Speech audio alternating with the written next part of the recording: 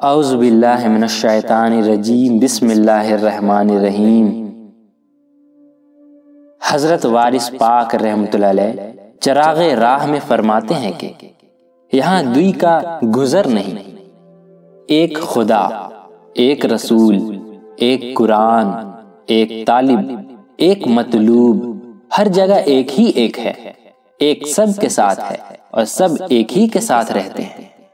आशिक एक माशूक एक, राज एक, न्याज एक, दुनिया एक, दीन एक, जन्नत एक, जहन्नम एक, ज़िंदगी एक, मौत एक, खुशी एक, गम एक, आरज़ू एक, तमन्ना एक। जहाँ एक है, वहाँ सारा काम एक, ज़बरदस्त राज और न्याज के साथ और बहुत ही हुनर के साथ तय कर रहा है।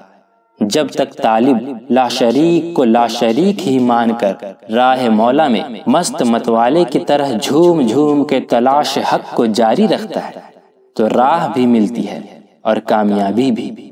और जहाँ लाशरीक के सामने किसी को शरीक कायम किया गया या कायम करने की नापाक कोशिश की गई, बस उस मंजिल पर फसाद शुरू हो गया।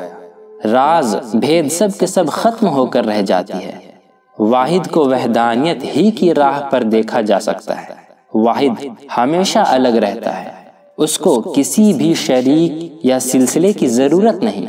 सारे सिलसिले और सारे रास्ते सिर्फ़ एक ही से बनते हैं, मगर वो एक फिर भी अलग का अलग ही रहा। यहाँ तक कि बंदा नवाज़ वारिस पाक रहमत आज भी फरमा रहे हैं और ये आवाज़ आपकी क्यामत तक गूंजती रहेगी कि तालिब मौला में दुई का गुजर नहीं।